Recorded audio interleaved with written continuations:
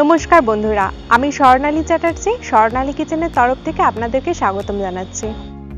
আজ আমি আপনাদেরকে অ্যাপেলো ফিশ বানিয়ে দেখাবো।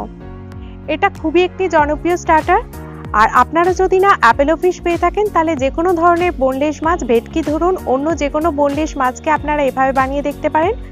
আর পুরো ভিডিওটার সঙ্গে থাকুন, আর ভালো লেগে থাকলে অবশ্যই লাইক, কমেন্ট, সাবস্ক্রাইব করতে ভুলবেন না। তো বন্ধুরা, চলুন আমার সাথে দেখে নিন কীভাবে এটা বানাই।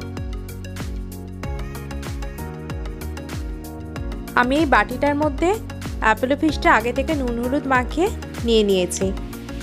এবার এর মধ্যে আমি এক চামচ আদা রসুন পেস্ট দিচ্ছি আর দিচ্ছি হাফ চামচ গুঁড়ো লঙ্কা।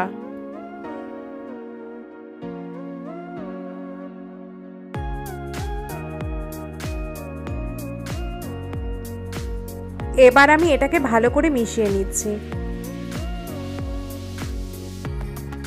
এবার আমি এই বাটিটার মধ্যে একটা ডিমকে ভালো করে আমি গুলিয়ে নিয়েছি। এবার এই ডিমের গোলাটাকে আমি মাছের ওপর দিয়ে দিচ্ছি। দিয়ে এটাকে ভালো করে আমি মিশিয়ে নেব।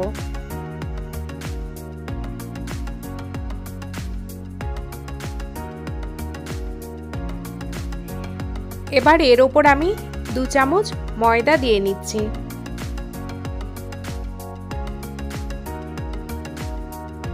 আর দিচ্ছি এক চামচ কর্নফ্লাওয়ার।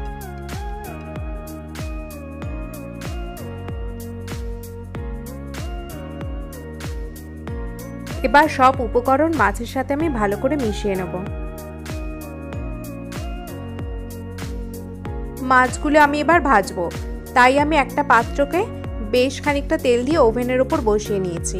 তেলটা ভালো গরমও করে নিয়েছি। এবার আমি এক এক করে মাছগুলো ভাজবো। আর একটু দূরে দূরে মাছগুলো দিয়েই ভাজবো যাতে না গায়ে গায়ে লেগে যায়।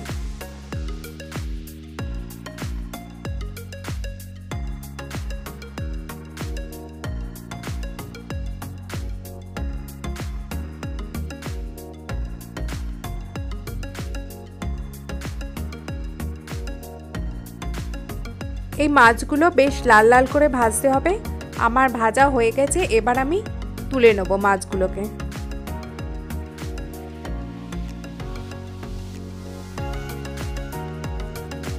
এবার আমি গ্রেভিটা বানাবো। তাই তার জন্য ওভেনের মধ্যে একটা পাত্র বসিয়ে নিয়েছি। পাত্রটার মধ্যে কিছুটা তেল নিয়েছি, পাঁচ পিস রসুন কুচি নিয়েছি আর নিয়েছি সাত আটটা কারি পাতা। আর একটা কাঁচা লঙ্কাকে চিড়ে নিয়েছি। এবার এটা ভালো করে আমি নেড়ে নেব।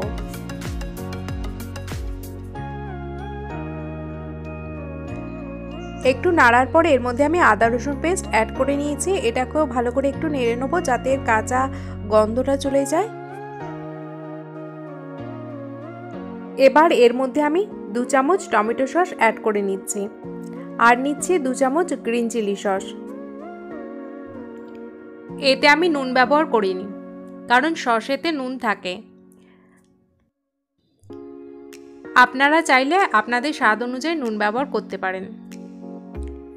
এর মধ্যে আমি একশো গ্রাম টক দই মিশিয়ে নিচ্ছি।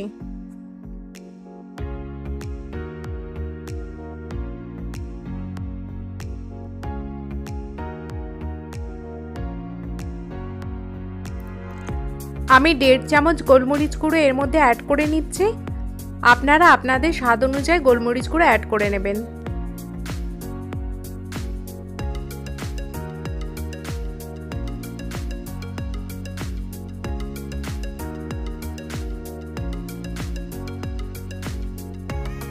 এর মধ্যে আমি মাছের পিসগুলো অ্যাড করে নিচ্ছি।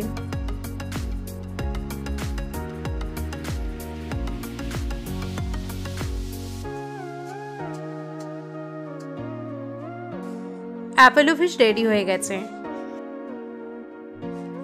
এবার আমি এটাকে সার্ভ করব। এই রেসিপিটা ভালো লেগে থাকলে অবশ্যই আপনারা আপনাদের বাড়িতে ট্রাই করবেন।